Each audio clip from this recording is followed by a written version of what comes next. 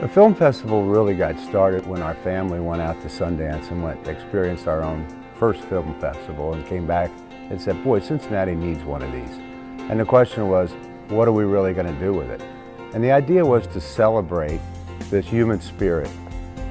Well, anybody that knows Jack knows that he's never short on ideas, but this was an idea that was burning from the very beginning after Sundance. The Over the Rhine Film Festival is really set apart from not just art offerings in Cincinnati, but anywhere in the world because of its intentionality around diversity and disability and inclusion.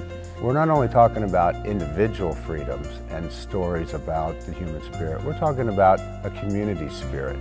And that's really how the film festival began. Moving from ReelAbilities, which was completely focused just on people with disabilities, to expanding this into looking at diversity and inclusion as a whole, means that it gives us an opportunity to kind of place disability within that larger conversation. And since it's become the OTR Film Festival, I know that one of the concerns that both LADD and Jack Geiger had is to make it accessible uh, and make it inclusive and diverse for a lot of different populations. We live in a world right now where separation, distrust is so, is, is so prevalent and what Jack is doing is driving in our community, which impacts all the people here, our region, um, the differences that people bring, and the importance of appreciating that. As a member of the LGBTQ community, uh, that hit home with me because that was definitely one of the areas of inclusion and diversity. The industry is spending a lot of time right now looking at different kinds of initiatives to support making sure that there are more opportunities for women and people of color in the film industry. But in as part of that discussion, disability is not really not a focal point. I believe this festival, and again under Jack's direction, our push is to make sure that we go out and we start start having more of those conversations and we make sure that people really get a sense that disability should be a part of that. And the best way to do it is to start by showing great films here. The importance of the film festival to Cincinnati is, I think, it gives us a vehicle and a platform for us to understand each other, for us to understand each other with empathy.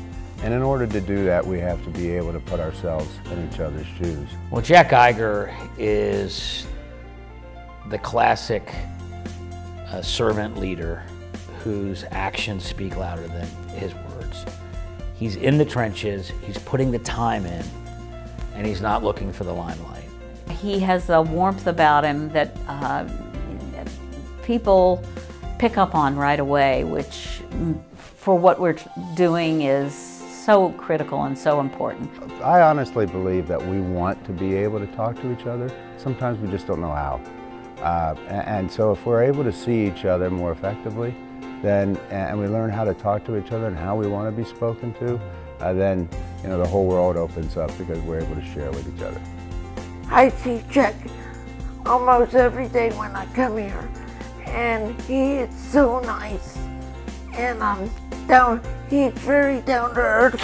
His beliefs, his values, he lives them, he demonstrates them, he speaks them. It's who he is.